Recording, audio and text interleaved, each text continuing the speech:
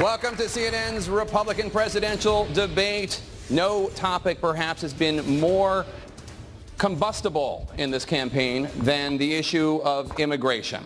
Mr. Trump, you have called for deporting every undocumented immigrant. Governor Christie has said, quote, there are not enough law enforcement officers, local, county, state, and federal combined to forcibly deport 11 to 12 million people. Tell Governor Christie how much your plan will cost and how you will get it done. Correct. First of all, I want to build a wall, a wall that works. So important, and it's a big part of it. Second of all, we have a lot of really bad dudes in this country from outside, and I think Chris knows that maybe as well as anybody. They go, if I get elected, first day, they're gone. Gangs all over the place, Chicago, Baltimore, no matter where you look. We have a country based on laws. I will make sure that those laws are adhered to. These are illegal immigrants. I don't think you'd even be asking this question if I didn't run. Because when I ran and I brought this up at my opening remarks at Trump Tower, I took heat like nobody has taken heat in a long time. And then they found out with the killing of Kate from San Francisco and so many other crimes they found out that I was right. And most people, many people apologized to me. I don't think you'd even be talking about illegal immigration if it weren't for me. So we have a country of laws.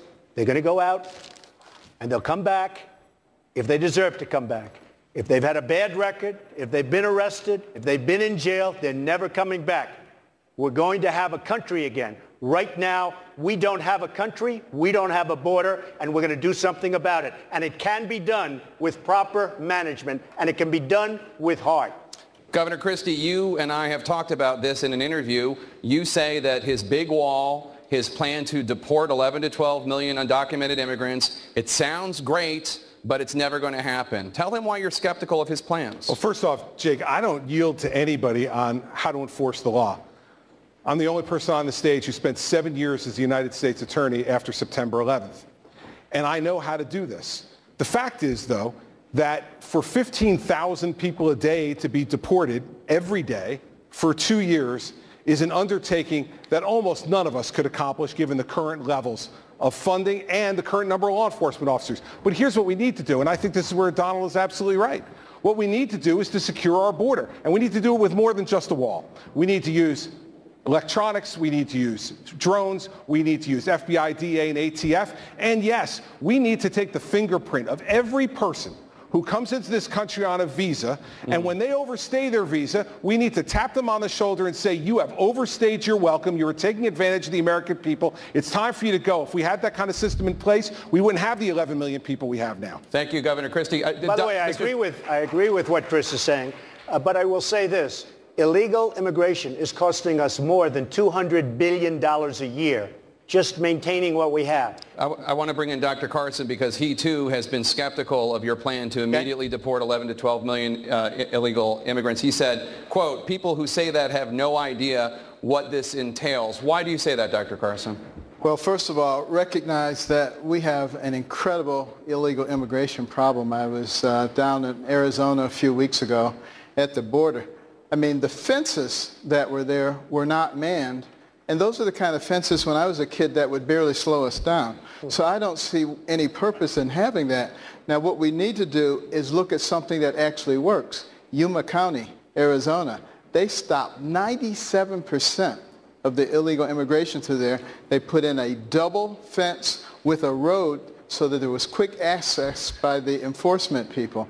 Uh, if we don't seal the border, the rest of the stuff really doesn't matter. It's, it's kind of ridiculous, all the other things that we talk about. We have the ability to do it. We don't have the will to do it. There was one area where they had cut a hole in the fence, and to prepare it, they put a few strands of barbed wire across. Well, the photographers who were there with us, they wanted to photograph us from the side of the Mexicans, and they went through there, and they were not physically fit people, and they took their cameras and things with them and shot us from the other side. That's how easy it is to get across. And the drugs, I mean, it goes on and on and on. ICE tells them to release these people. 67,000 criminals released Dr. onto our property. It's ridiculous. With all, with all, due respect, Dr. Carson, you said about Donald Trump's plan to immediately deport 11 to 12 million undocumented immigrants. People who say that have no idea what this entails. Why not? Well, I have also said if, if anybody knows how to do that, uh, that I would be willing to listen. And if they can, uh, you know, specify exactly how that's going to be done and what the costs, and it sounds reasonable, then I think uh, it's worth discussing. And- but and Let's, Jake- let's continue the Jake, conversation about illegal immigration with Dana Bash. Governor Bush, Mr. Trump has suggested that your views on immigration are influenced by your Mexican-born wife. He said that, quote, if my wife were from Mexico, I think I would have a soft spot for people from Mexico. Did Mr. Trump go too far in invoking your wife? He did. He did. Um, you're proud of your family, just as I am. Correct. To subject my wife into the middle of a raucous political conversation was completely inappropriate, and I hope you apologize for that, Donald. Well, I have to tell you, I hear phenomenal things. I hear your wife is a lovely woman. She is. I She's don't fantastic. know her, and this is She is total absolutely the love of my life, and she's right here, and why don't you apologize Good. for her No, I won't right do that now. because I said nothing Yeah. wrong, but I do hear So she's a lovely woman. So here's the deal.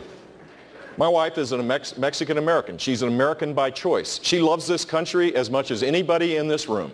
And she wants a secure border, but she wants to embrace the traditional American values that make us special and make us unique. We're at a crossroads right now.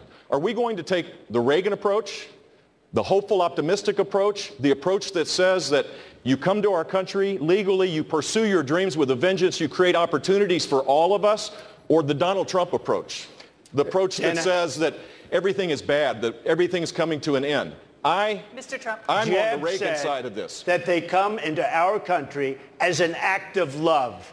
With all of the problems that we have in so many instances, we have wonderful people coming in. But with all of the problems, this is not an act of love. He's weak on immigration. By the way, in favor of Common Core, which is also a disaster. but weak on immigration, he doesn't get my vote.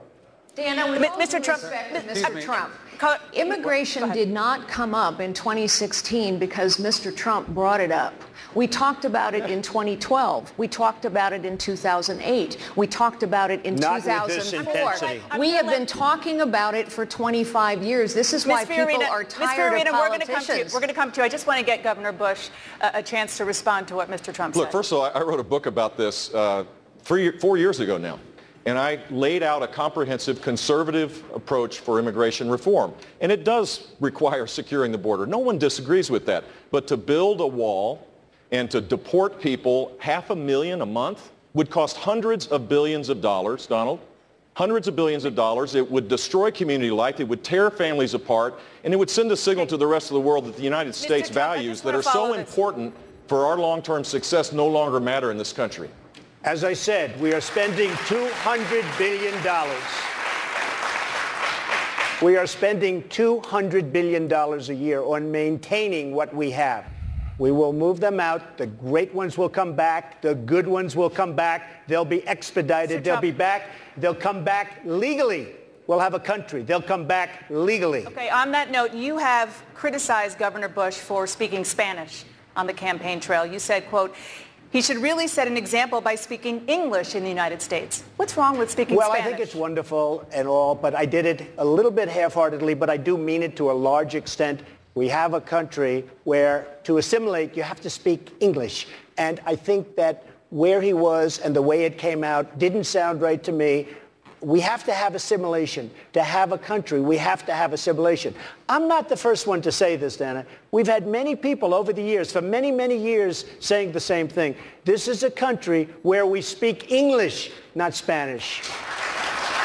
Well, I'm, I've been speaking English here tonight, and I'll keep speaking English, but the simple fact is if a, college, if a high school kid asked me a question in Spanish, a, a a school, by the way, a voucher program that was created under my watch, the largest voucher program in the country, where kids can go to a Christian school, and they ask me a question in Spanish, I'm going to show respect and answer that question in Spanish, Dana? even though they do speak English, and even though they embrace American values. This was a reporter, not a high school kid, by the way. Dana, I, I, I agree that English is the unifying language of our country and everyone should learn to speak it. It's important.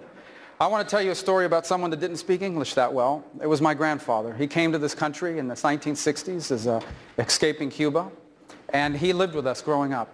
And my grandfather loved America. He understood what was so special about this country. He loved Ronald Reagan. He would be very proud of the fact that we're here this evening.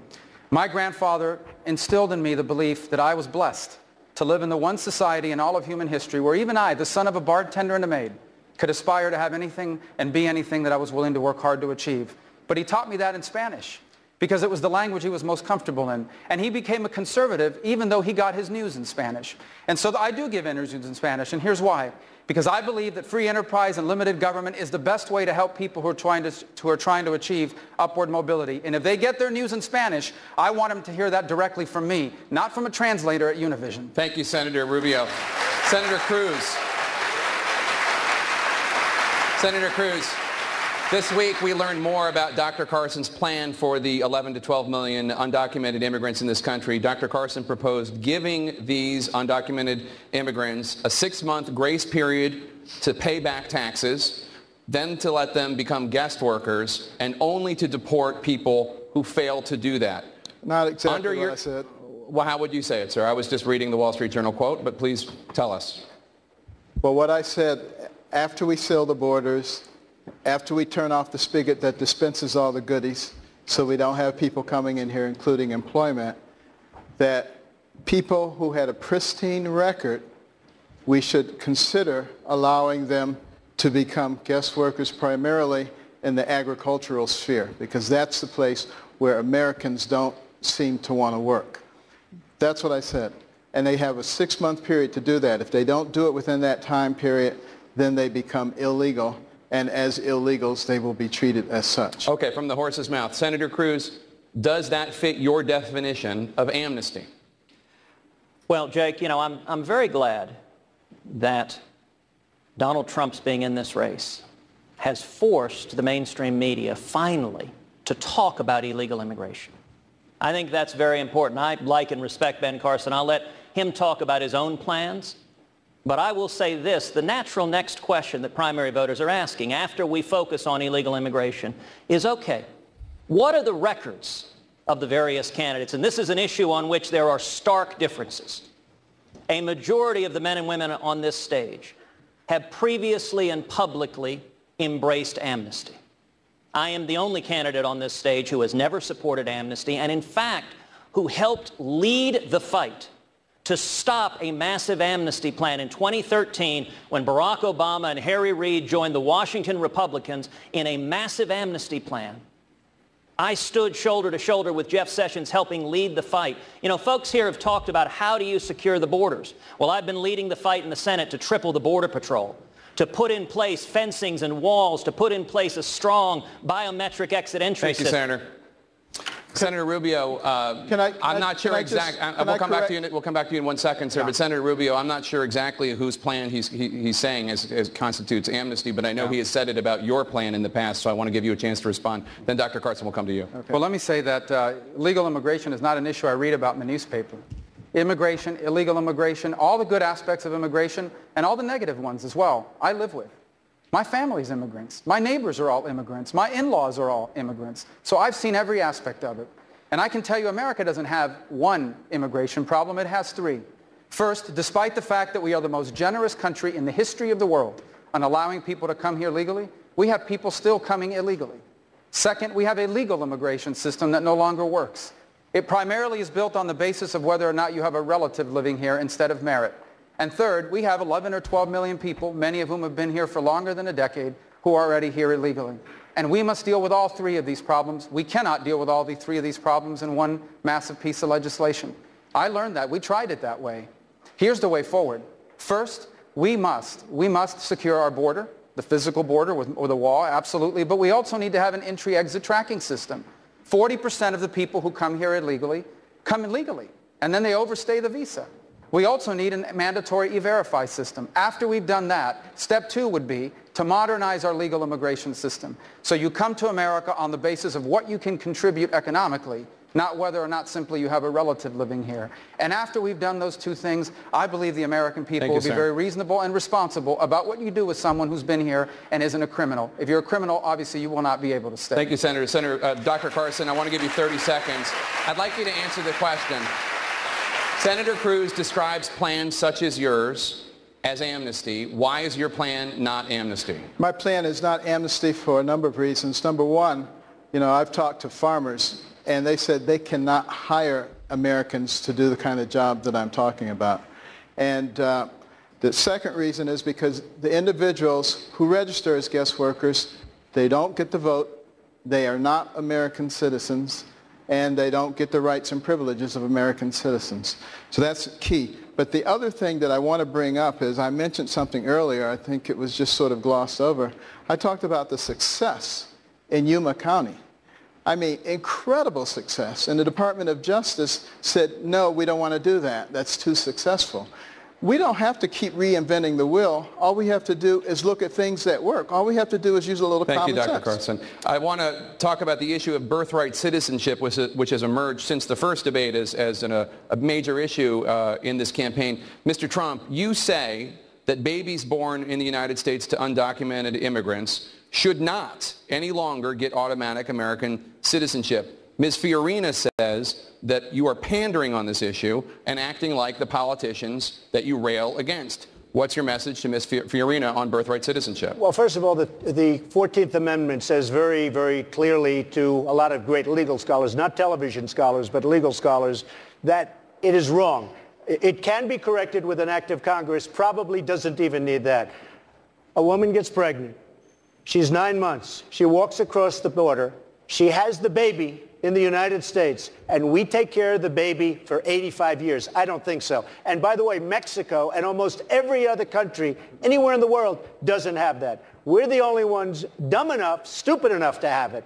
And people, and by the way, this is not just with respect to Mexico. They're coming from Asia to have babies here, and all of a sudden we have to take care of the babies for the life of the baby. The 14th Amendment, it reads properly you can go, and it's probably going to be have to check, uh, go through a process of court, probably ends up at the Supreme Court. But there are a lot of great legal scholars that say that is not correct. And in my opinion, it makes absolutely no, we're the only, one of the only countries, we're going to take care of those babies for 70, 75, 80, 90 years. I don't think so. Ms. Fiorina, the vast majority of countries do not have birthright citizenship. Donald Trump is right about that.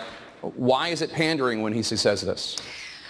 First, let me say we have just spent a good bit of time discussing as Republicans how to solve this problem. I would ask your audience at home to ask a very basic question. Why have Democrats not solved this problem? President Obama campaigned in 2007 and 2008 on solving the immigration problem. He entered Washington with majorities in the House and the Senate. He could have chosen to do anything to solve this, pro- this problem. Instead, he chose to do nothing. Why? Because the Democrats don't want this issue solved. They want it to be an issue Ms. that they can use. Ms. As to birthright citizenship, Please. the truth is you can't just wave your hands and say the 14th Amendment is going to go away. It will take an extremely arduous vote in Congress followed by two-thirds of the states. And if that doesn't work to amend the Constitution, then it is a long, arduous process in court. And meanwhile, what will continue to go on is what has gone on for 25 years. With all due respect, Mr. Trump, we have been talking about illegal immigration for 25 years. San Francisco has been a sanctuary city since 1989. There are 300 of them. And meanwhile, what has happened? Nothing. The border remains insecure. The legal immigration system remains broken. Look, we know what it takes to secure a border. We've heard a lot of great ideas here. Money, manpower, Thank technology, you, mostly apparently leadership, Thank kind you. of leadership that understands how to get results. Thank you, Ms. Fiorina. Mr. Trump, I, I want to give you a chance 100%, by the way, with Carly on the fact that the Democrats do not want to solve this problem for the obvious reasons, but they do not. But I believe that a reading of the 14th Amendment allows you to have an interpretation where this is not legal and where it can't be done. I've seen both sides, but mm-hmm. some of the greatest scholars agree with me without having to go through Congress. If you do go through Congress, you can absolutely solve Thank you, Mr. Trump. You, Trump. you would Senator stipulate, Paul, Mr. Trump, that not everyone agrees with you. That's true. Sure. Senator okay. Paul, I want to bring you in. Where, where do you stand on the issue of birthright citizenship? Well, I hate to say it, but Donald Trump has a bit of a point here. Uh, the case that was decided around 1900 was people had a green card, were here legally, and they said that their children were citizens. There's never been a direct Supreme Court case on people who are here illegally, whether or not their kids are citizens. So it hasn't really been completely adjudicated. The 14th Amendment says that those who are here and under the jurisdiction The original author of the, of the 14th Amendment said on the Senate floor that this was applying to slaves and did not specifically apply to others. All right, Senator Paul, thank you so much. Let's turn to a new topic. We've received a lot of questions on social media about the economy and about jobs. We have two CEOs on stage right now. Ms. Fiorina, you were CEO of Hewlett Packard. Donald Trump says you, quote, ran HP into the ground. You laid off tens of thousands of people. You got viciously fired. For voters looking to somebody with private sector experience to create American jobs, why should they pick you and not Donald Trump? I led Hewlett Packard through a very difficult time, the worst technology recession in 25 years. The NASDAQ stock index fell 80%. It took 15 years for the stock index to recover. We had very strong competitors who literally went out of business and lost all of their jobs in the process. Despite those difficult times, we doubled the size of the company. We quadrupled its top line growth rate. We quadrupled its cash flow. We tripled its rate of innovation. Yes, we had to make tough choices. And in doing so, we saved 80,000 jobs, went on to grow to 160,000 jobs, and now Hewlett Packard is almost 300,000 jobs. We went from lagging behind to leading in every product category and every market segment. We must lead in this nation again, and some tough calls are going to be required. But as for the firing, I have been very honest about this from the day it happened. When you challenge the status quo, you make enemies. I made a few. Steve Jobs told me that when he called me the day I was fired to say, hey, been there, done that twice. It's also true that the man that led my firing, Tom Perkins, just Thank took Ms. out a full-page ad in the New York Times to say he was wrong, I was right, I was a terrific CEO, the board was dysfunctional, and he thinks I will make a magnificent president you, of Ms. the United States. Well, Mr. Trump, Mr. Trump, why would you be better at creating let me jobs than just- Carly Fiorina? well, let me just explain. The head of the Yale Business School, Jeffrey Sonnenfeld, wrote a paper recently, one of the worst tenures for a CFO CEO that he has ever seen, ranked one of the top 20 in the history of business.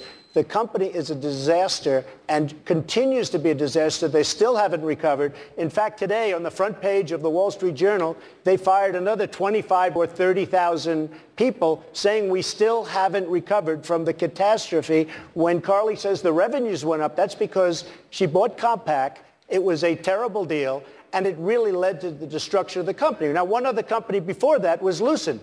Carly was at Lucent before that. And Lucent turned out to be a catastrophe also. So I only say this. She can't run any of my companies. That I can tell you. Ms. You Fiorina, know, I want to give you a chance uh, to respond. Jeffrey Sonnenfeld is a well-known Clintonite and honestly had it out for me from the moment that I arrived at Hewlett Packard. But honestly, Mr. Trump, I find it qu- quite rich that you would talk about this.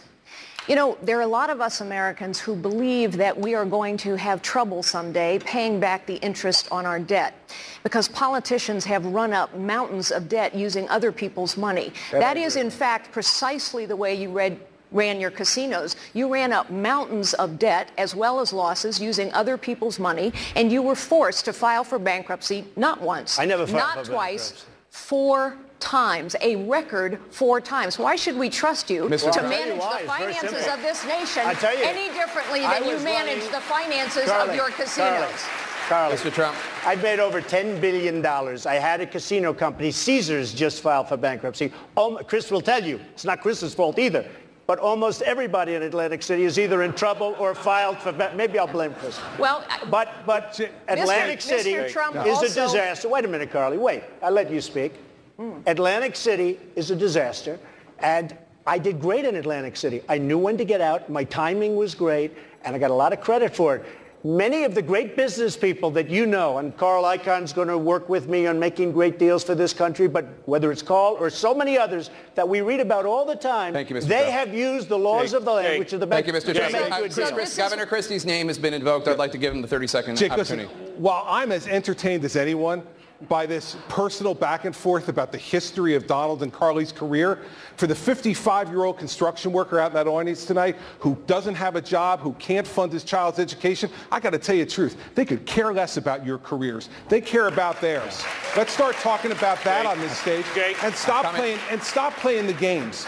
Governor stop Christie. playing, There's- J- there's, uh, John, I'm not done yet, John. A track Sorry. record of Stop- leadership and is not stop- a game. and It stop is the playing- issue and in Carly, this election. Carly, listen, you can interrupt everybody else on the stage, you got to interrupt me, okay? The fact is that we don't want to hear about your careers. Back and forth and volleying back and forth about who did well and who did poorly. You're both successful people. Congratulations. You know who's not successful? The middle class in this country who's getting plowed over by Barack Obama and Hillary Clinton. Let's start talking about the O's issues tonight and stop this childish back and forth between the two of you. Ms. Fiorina, I, I want to give you...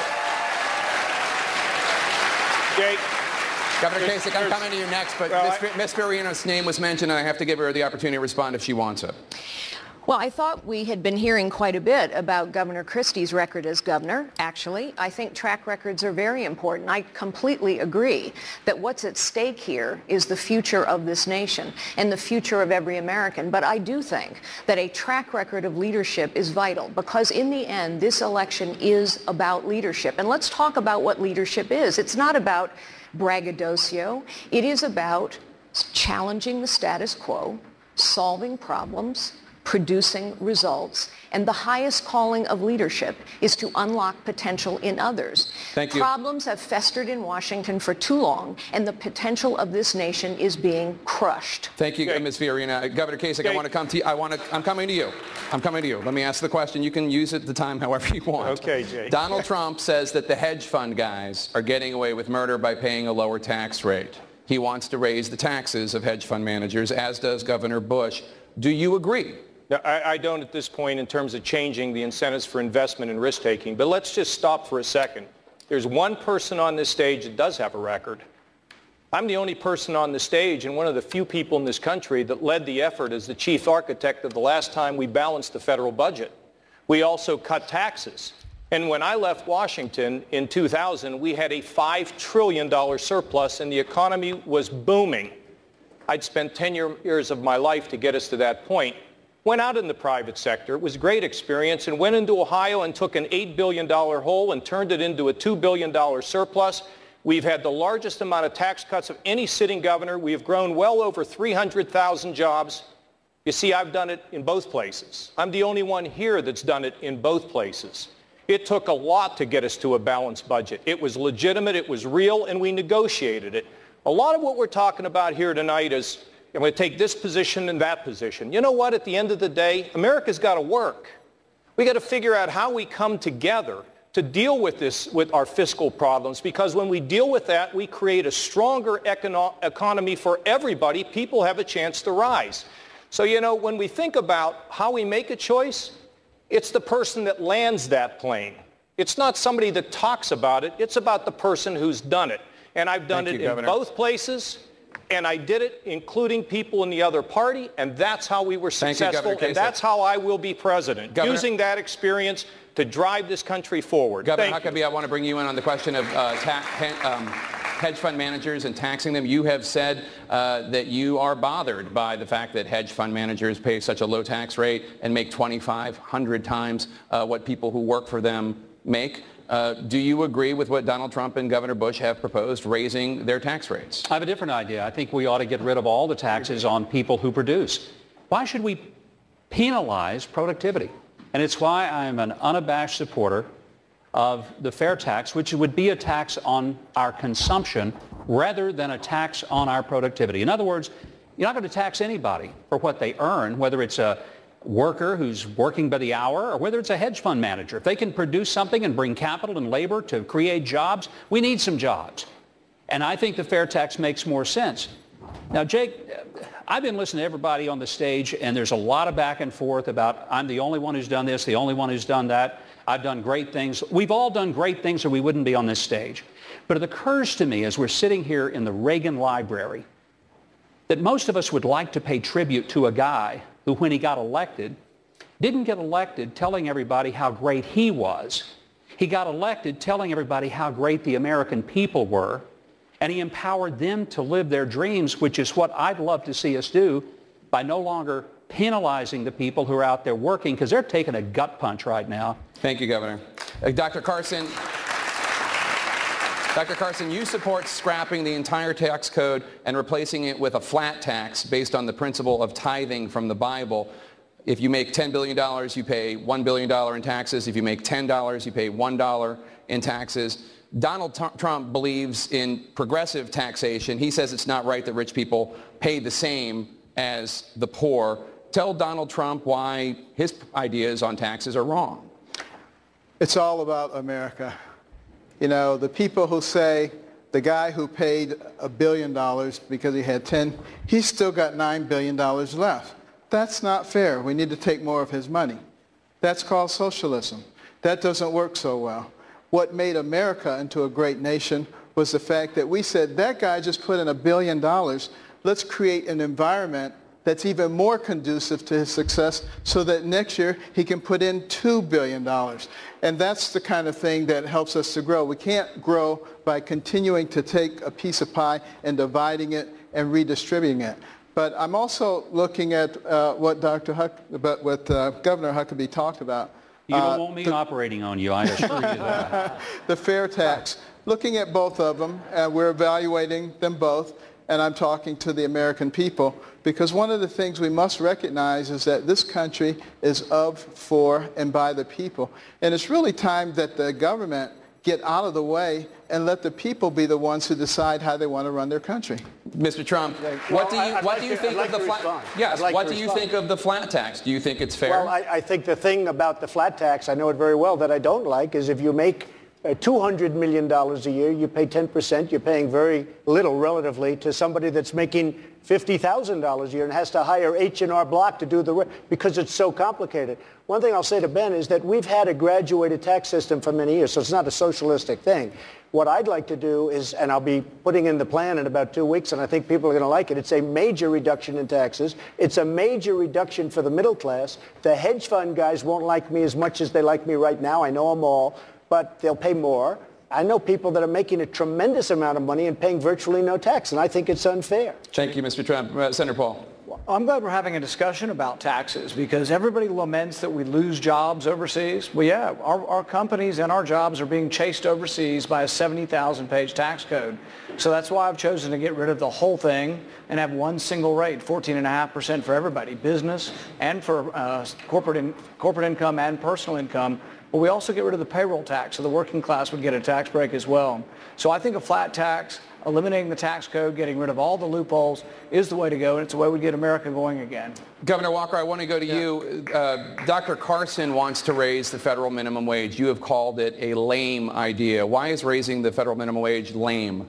I said the best way to help people see their wages go up is to get them the education, the skills they need to take on careers that pay far more than minimum wage. And it's why we talk about it, it's all about jobs. You want to help people actually get jobs. It's why on that last question we are trying to jump in on taxes. To me, it's not just about taxes, cutting taxes. I've done it as much as anybody. I've cut income taxes. I've cut property taxes. In fact, property taxes are lower today in my state than they were before we took office. The real issue is about jobs. Ronald Reagan, our plan is based on the Ronald Reagan tax cuts of 1986. That brought about one of the longest sustained periods of economic growth in American history.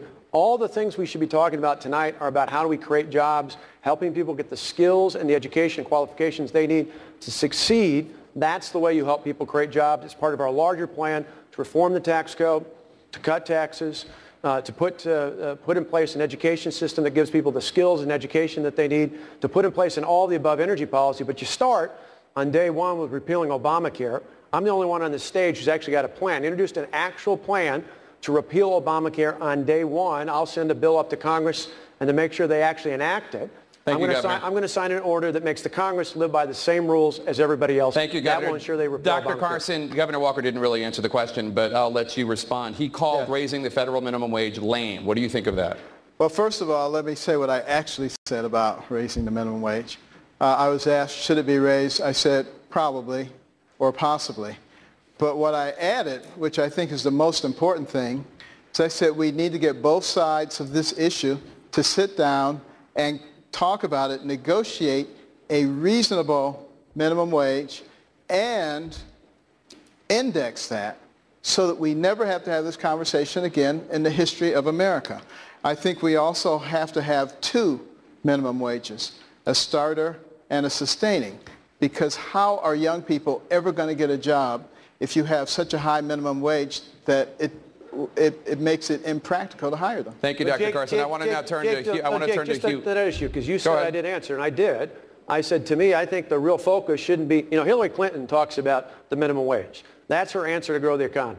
The answer is to get people the skills and the education so they make far more than minimum wage. I don't want to argue about how low things are going to be. I want to talk about how do we lift everyone up in America. That's what Reagan talked about. It wasn't how bad things were. It was how to make it better for everyone. That's what we've done in Wisconsin. That's exactly what we do. Let president. me bring in our partner from Salem Radio Network, Hugh Hewitt. Uh, I'd like to talk about winning because I think all of you are more qualified than former Secretary of State Clinton, and as were the people in the first debate. But there are different styles. And uh, Carly Fiorina, Governor Kasich, you are conveniently located next to each other, and you have different styles. Governor Kasich, you've been on my show a lot. You refuse to attack Hillary Clinton. You just don't want to go there. You want to do the Up With People, Go Ohio campaign, and I like that. Carly Fiorina, I don't have to bring up the Secretary of State. you bring her up sua sponte. Which one of you is wrong? Governor Kasich? Well, look, I'm, people still have to get to know me, so I want to spend my time talking about my experience reforming welfare, balancing budgets, cutting taxes, providing economic growth when I was in Washington, turning Ohio around, 8 billion in the hole, $2 billion surplus, up over 300,000 jobs, big tax cuts, uh, strengthening our credit. All those things matter. But you know, I, I as a young man uh, in my first election in 1978, I defeated an incumbent Democrat. I defeated an incumbent Democrat in 1982 running on the Reagan program. I was the only Republican in America to defeat an incumbent Democrat that year. And then when I uh, won for election to governor, I was the first Republican to defeat an incumbent in 36 years and the first person to have never run statewide out of politics for 10 years to beat an incumbent that hadn't happened for 96 years. So we'll get to the point where we'll talk about Hillary Clinton or whoever the nominee is record. But right now, I want to give people a sense of hope, a sense of purpose, a sense of unity, a sense that we can do it. So, um, you Governor. know, you at the end of the day, I'm going to continue to talk about my record because there's, do you ever notice when people run for office, they run for president, they make a lot of promises, they don't keep them. Thank I don't Governor. intend to do that, and I'm going to be out there pushing and all. Don't worry about me and Hillary. That'll all work out. And I'm from Ohio. She will not beat me there. I can promise you that. Carly Fiorina, your style. You see, Governor Christie, people spend a lot of time talking about their track records, and Mr. Trump and I have every right to do the same. And Mrs. Clinton is going to have to defend her track record, her track record of lying about Benghazi, of lying about her emails, about lying about her servers. She does not have a track record of accomplishment. Like Mrs. Clinton, I too have traveled hundreds of thousands of miles around the globe. But unlike Mrs. Clinton, I know that flying is an activity. It is not an accomplishment. Mrs. Clinton, if you want to stump a Democrat, ask them to name an accomplishment of Mrs. Clinton's. Thank you, Ms. Fiorina. Governor Christie, your name was mentioned. I want to give you a chance to respond. Listen, uh, you know, Hugh, it's, a, it's an important point. And the question is, who's going to prosecute Hillary Clinton? The Obama White House seems to have no interest. The Justice Department seems to have no interest. I think it's time to put a former federal prosecutor on the same stage with Hillary Clinton, and I will prosecute her during those debates on that stage for the record that we're talking about here. The fact that she had a private email server in her basement using national security secrets running through it could have been hacked by the Russians, the Chinese, or two 18-year-olds on a toot wanting to have some fun. No one's answering that question from the Hillary Clinton camp. Thank you know you, why? Because she knows she's wrong and she cannot look in the mirror at herself and she cannot tell the American people the truth. Thank you, Governor Christie. There is a whole lot more coming up ahead. A world of trouble. The challenges that one of these candidates may face in the Oval Office and how he or she will handle it. Stay with us.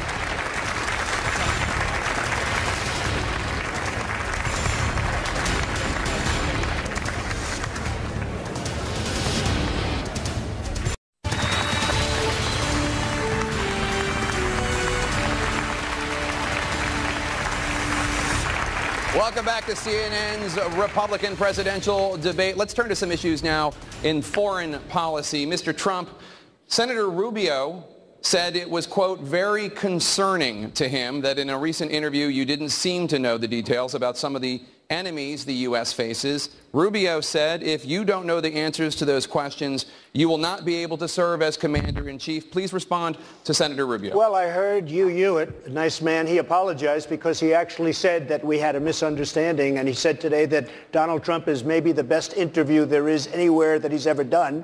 Now, unless he was just saying that on CNN to be nice, but he did say that. Is Oh, you're the best statement? interview in America. And we had a legitimate misunderstanding in terms of his pronunciation of a word, but uh, I would say just, well, I think it was. And he actually said that. Did you say that? I So radio together. makes an interesting thing. Okay, so uh, I will say this, though.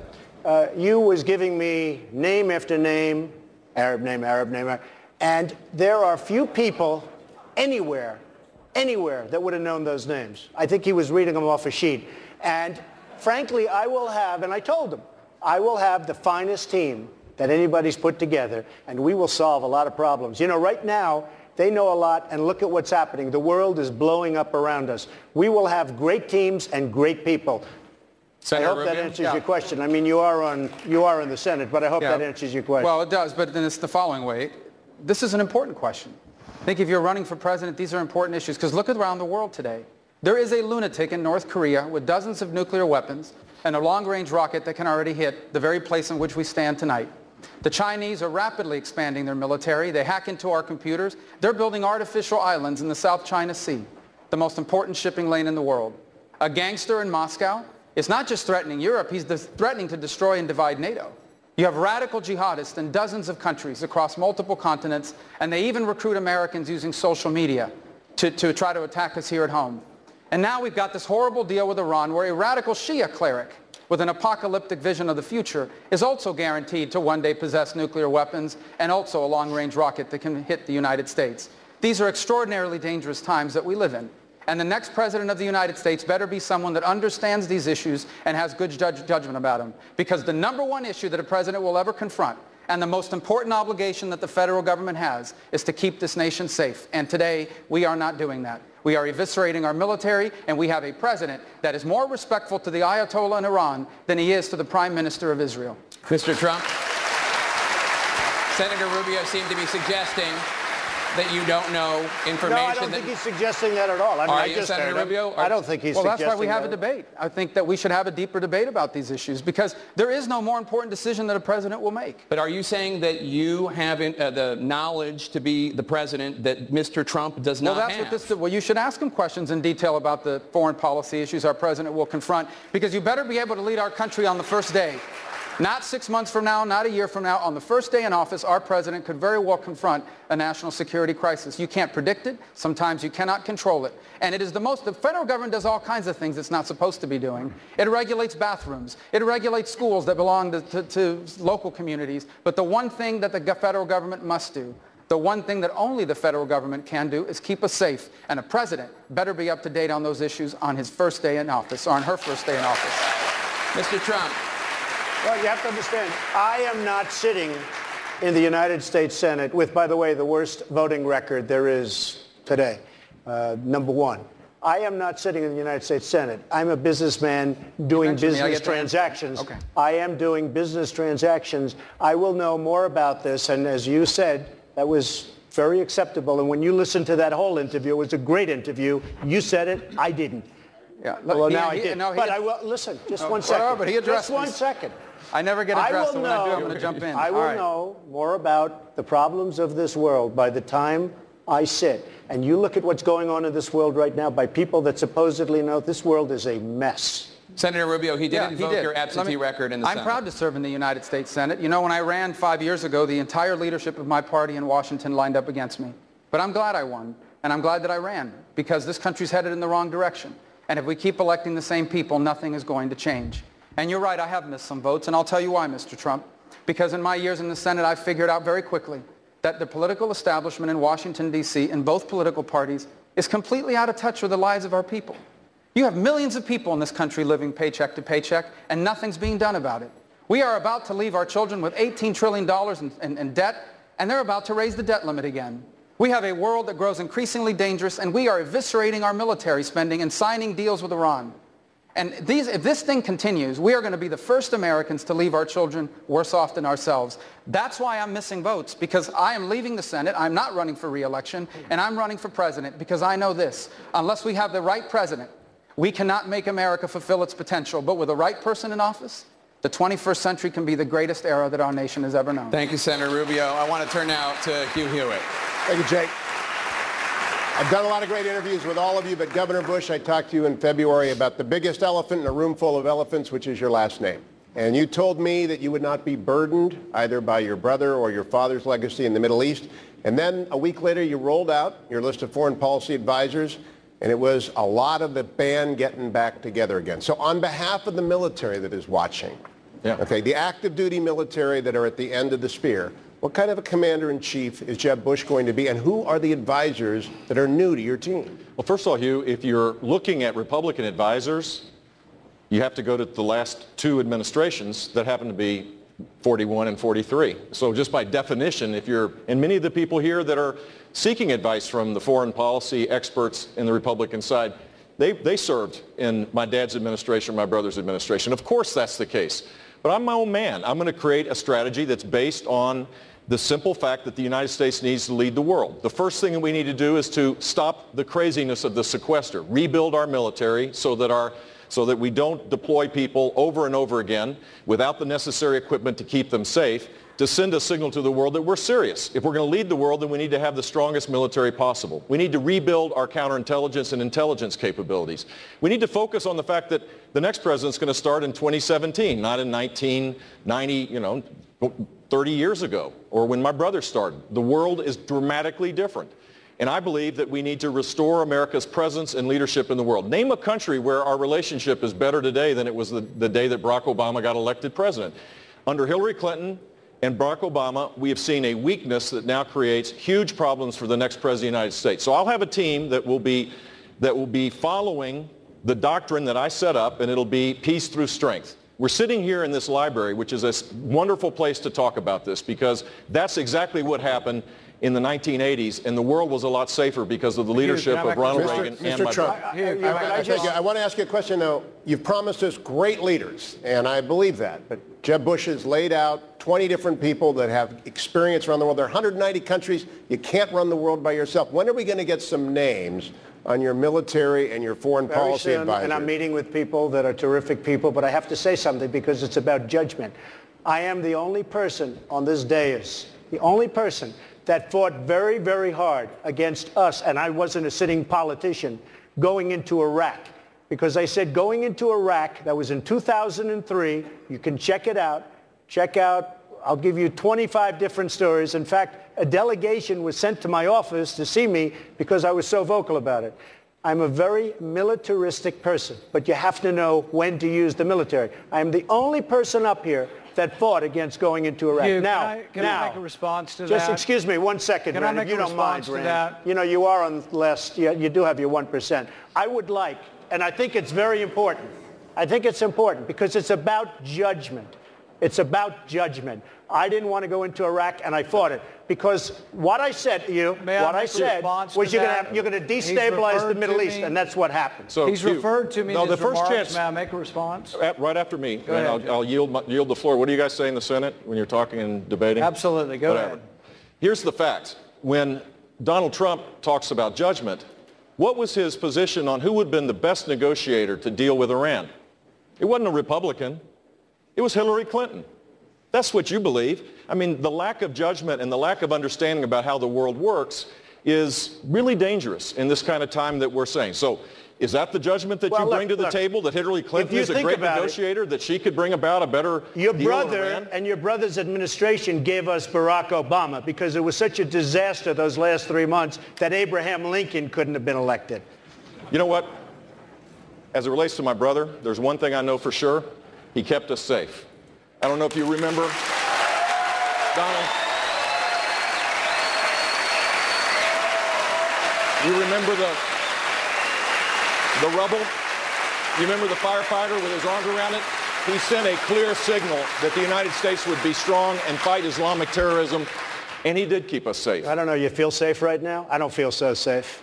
May I No, and that's because of Barack. That's because of Barack Because Obama. my brother. That's because of Barack Obama. We've had a president who called ISIS the JV squad, Yemen a success story, Iran a place we can do business with. It's not because of George W. Bush. It's because of Barack Obama. And when it, and, and, and when it, but, but here on that on, on that point though, whether it's whether we're talking about national security, foreign policy, or we're talking about domestic policy, Or the key collapse issue- of the economy. The key issue here is talking about leadership. Now, there's a lot of great people up here, and you've heard a lot of great ideas out there. But I would ask the American people, look at who's been tested. When there were 100,000 protesters in my capital, I didn't back down. When they issued death threats against me and threats against my family, I didn't back down. When they tried to recall me, I didn't back down. And when they made me the number one of their number one targets last year, I didn't back down. Give me the chance to be your president. Thank you, I Governor. won't back down Senator- on any of these issues. Senator Paul. The remark was made that there hadn't been anyone else on the podium opposed to the Iraq War. I've made my career as being an opponent of the Iraq War. I was opposed to the Syrian War. I was opposed to arming people who are our enemies. Iran is now stronger because Hussein is gone. Hussein was the great bulwark and counterbalance to uh, the Iranians. So when we complain about the Iranians, you need to remember that the Iraq war made it worse. Originally, Governor Bush was asked, was the Iraq war a mistake? And he said, no, we'd do it again. We have to learn sometimes the interventions backfire. The Iraq war backfired and did not help us. We're still paying the repercussions of a bad decision. We have Senator to make Paul. the decision now in Syria. Should we topple Assad? Many up here wanted to topple Assad, and it's like I said no because Thank if Senator you do, Paul. ISIS will now be in Thank you, charge Senator of Paul. Syria. Go- I Gov- talk- let me I understand that Governor Bush's name has been invoked, and then we can go to you, Senator Rubio. Here's the lessons of history. When we, we pull back, voids are created. We left Iraq. We should have had a, a forces agreement to stay there with a small force. And instead of that, we politically and militarily pulled back. And now we have the creation of ISIS. 36 days ago in this very library, I gave a speech with a comprehensive strategy how to take out ISIS. And it requires American leadership and engagement. We don't have to be the world's policeman, but we certainly have to be the world's leader. We need to have, make sure that the world knows that we're serious, that we're engaged, that we're not going to pull back, that, that, our, that our word matters. And if we do that, we can create a force that will take out ISIS both in Iraq uh, and in Syria, which will take a lot longer Governor. time now because of what President Obama's done by pulling Thank you, back. I want to go even Rubio. deeper, and I want to go even deeper in that direction because I think the belief that somehow by retreating America makes the world safer has been disproven every single time it's ever been tried. Syria is a perfect example of it. The uprising in Syria was not started by the United States. It was started by the Syrian people. And I warned at the time, this was three and a half years ago, I openly and repeatedly warned that if we did not find moderate elements on the ground that we could equip and arm, that void would be filled by radical jihadists. Well, the president didn't listen. The administration didn't follow through. And that's exactly what happened. That is why ISIS grew. That is why ISIS then came over the border from Syria and back into Iraq. What is happening in that region is the direct consequence of the inability to lead and of disengagement. And the more we disengage, the more airplanes from Moscow you're going to see flying out of Damascus and out of Syria. Thank you, As Senator. you asked earlier today. Jake, Jake, Dr. Carson. I haven't had an opportunity to weigh in on foreign policy, and I just want to uh, mention that uh, when the war, uh, when the issue occurred in 2003, I suggested to President Bush uh, that he not go to war. Okay, so I, I just want that on the record.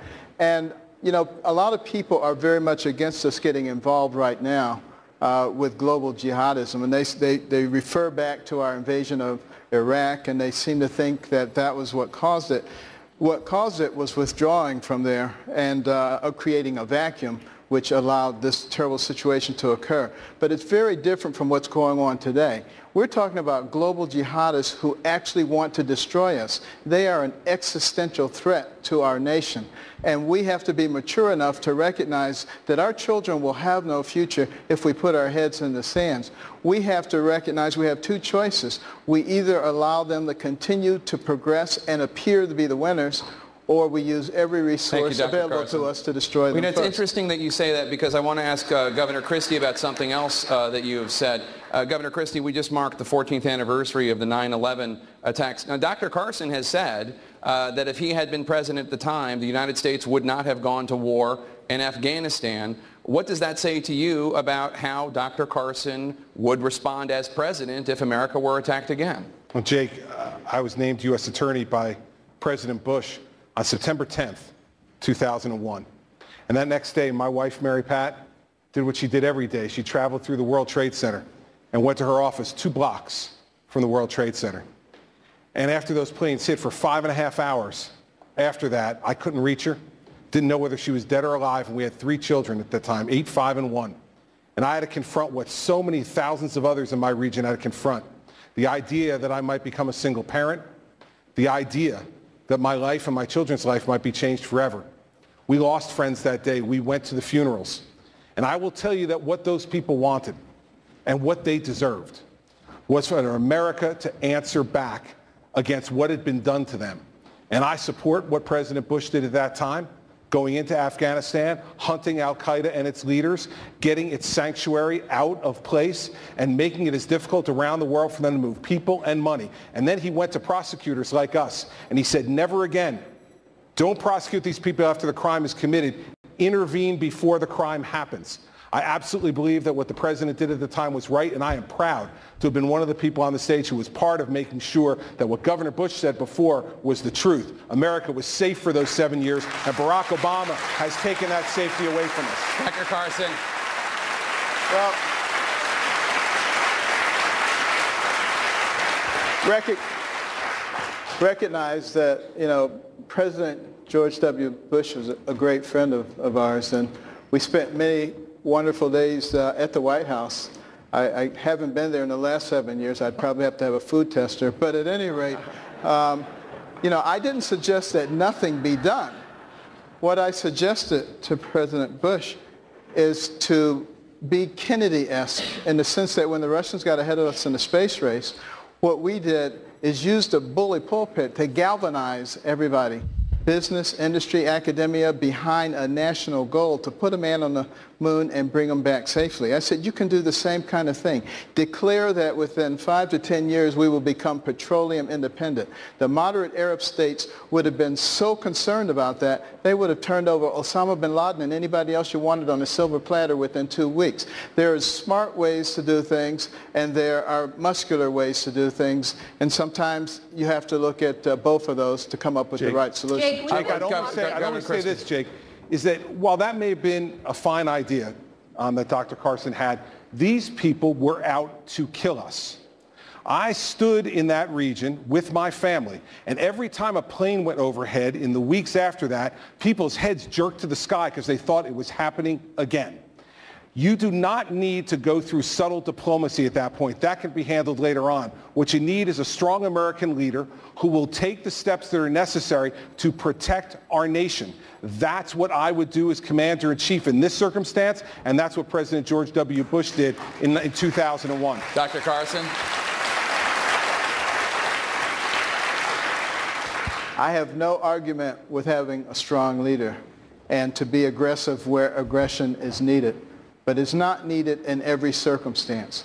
There is a time when you can use your intellect to come up with other ways to do things. And I think that's what we have to start thinking about. There is no question that a lot of these problems that we have been talking about in terms of the international situation is because we are weak. It's because our Navy is so small. It's because our Air Force is incapable of doing the same things that it did a few years ago. It's because our Marine Corps is not ready to be deployed. Thank you, there Dr. are a lot Carson. of problems that are going on, and we need to solve those problems. We need Thank to you, build Dr. up our Carson. Radical military. terrorism cannot be solved by, by intellect. It cannot. They, they require, they, what they need is they need an operating space. That's what Afghanistan was for al-Qaeda. It was a vacuum that they filled and they created an operating space. That's why they had to be drawn out of there. That's why they had to be destroyed. It is the reason why ISIS has now grown as well. We allowed them, we allowed a vacuum to emerge in Syria. They used it as an operating space to grow. And today they're not just in Iraq and Syria anymore. They're now in Libya conducting operations in the Sinai. They're now in Afghanistan trying to supplant the Taliban as the most powerful uh, radical jihadist group on the ground there as well. You cannot allow radical jihadists to have an operating safe Thank haven Senator. anywhere in the world. Governor Jake. Huckabee. Just today, just today, there was a new report that 50 different intelligence analysts have said that what they sent up the ladder was doctored by senior officials so that they could give some happy talk to the situation that we face. I love the idea of a, of a good intellectual capacity to deal with our enemies, but the fact is if you don't have good intelligence that's reliable and it's honest, you're not going to have good intelligence and you cannot make good decisions. The next president is primarily elected not just to know things, but to know what to do with the things that he knows. And the most dangerous person in any room is the person who doesn't know what he doesn't know. Thank you, And Governor. the reason Barack Obama has been dangerous to this country, and we'd better elect someone who has had some executive experience, is because we cannot afford another eight years having a person in the office who doesn't know what he does not Thank know. you, Governor. I want to turn. I want to turn to ISIS. Governor Walker. The last, we just point. spent the last 10 minutes. Governor Walker, uh, there is a big debate right now. We've been talking about ISIS here and there about this in this discussion. There's a big debate right now about whether or not to send more U.S. troops to fight ISIS in Iraq and Syria. In the first debate earlier, earlier this evening, Senator Lindsey Graham argued that candidates are only serious about fighting ISIS if they are willing to send 10,000 U.S. troops to Iraq, 10,000 U.S. troops as part of a coalition to Syria. Governor Walker, you say, you just told me a few days ago, that the 3,000 U.S. troops there right now are enough as long as the rules of engagement are changed. What do you know that Senator Graham doesn't know? No, to be clear, what I said the other day was that we need to lift the political restrictions that are already in play. Barack Obama's administration has put political restrictions on the military personnel already in Iraq. We need to lift those, and then we need to listen to our military experts, not the political forces in the White House, but our military experts about how many more we send in. And we certainly shouldn't have a commander-in-chief who sends a message to our adversaries as to how far we're going to go and how far we're willing to fight. So I'm not putting a troop number on. What I'm saying is lift the political restrictions. When you do that, you empower our military personnel already there to work with the Kurd and the Sunni allies to reclaim the territory taken by ISIS and to do so in a way that allows that ISIS doesn't go back in Syria, as we were just talking about here.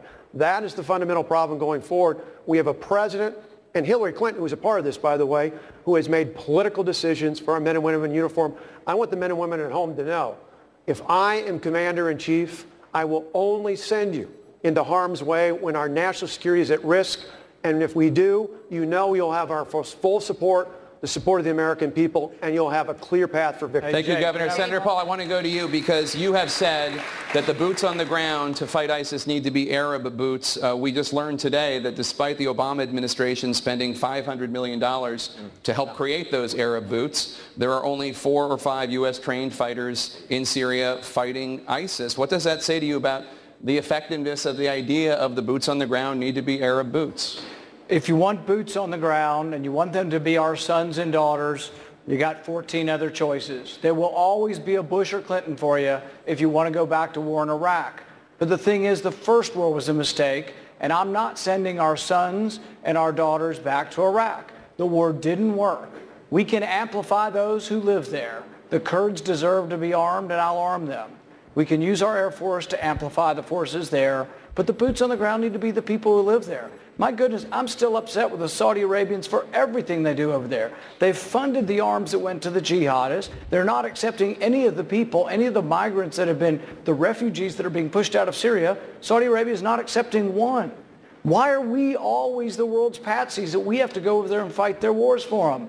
They need to fight their wars. We need to defend American interests, but it's not in America's national security Thank you, interest to have another war in Iraq. We're going to turn to some des- domestic issues now. I want to bring in my colleague Dana Can, Bash. I, uh, Jay, can I just make one point on this whole military discussion?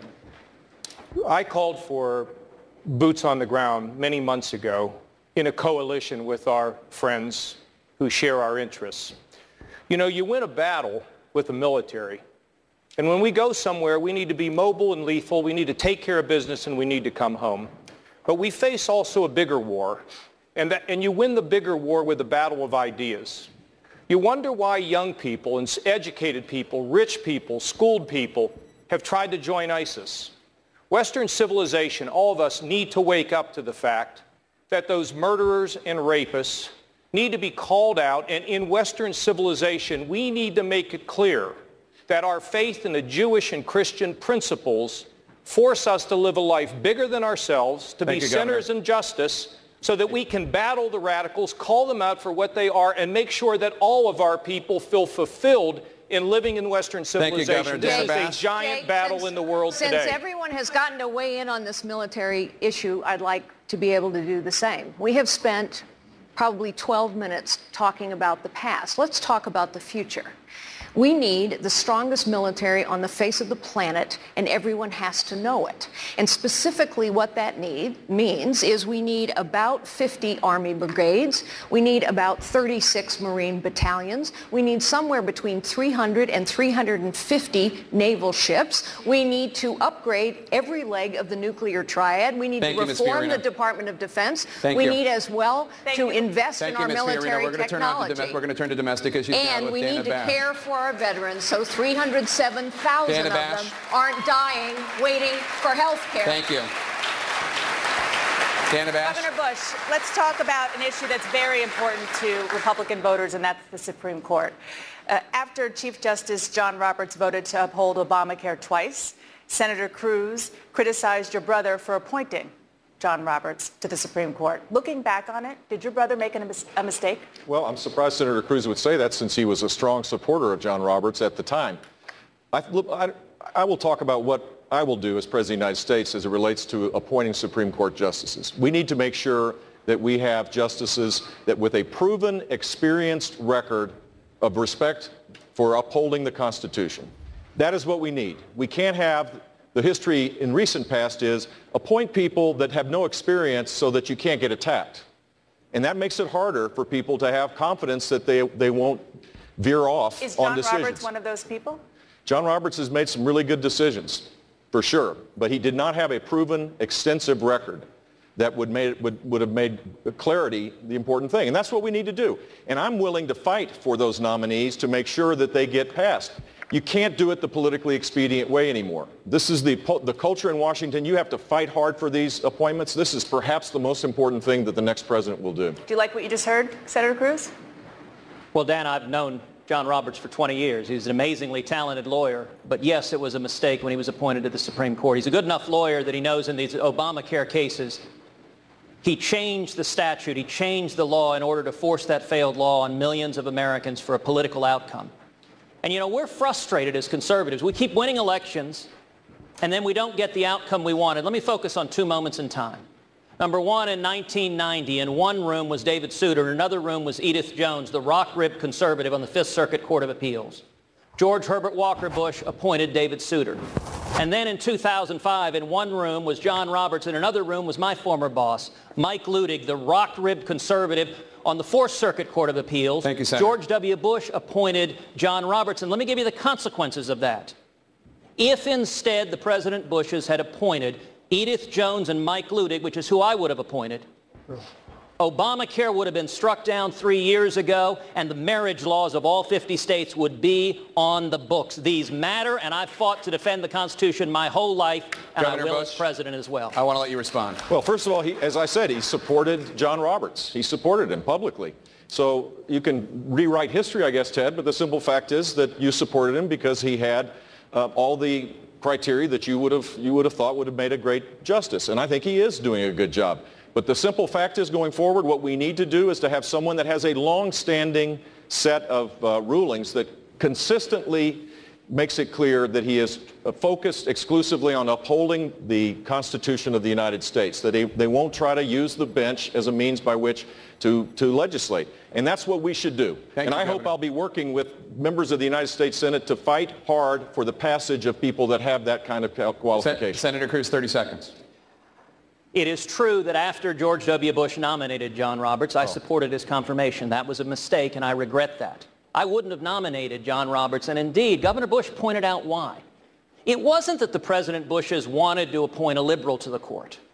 It's that it was the easier choice. Both David Souter and John Roberts, they didn't have a long paper trail. If you'd nominated Edith Jones or Mike Luttig, you would have had a bloody fight, and they weren't willing to spend political capital to put a strong judicial conservative on the court.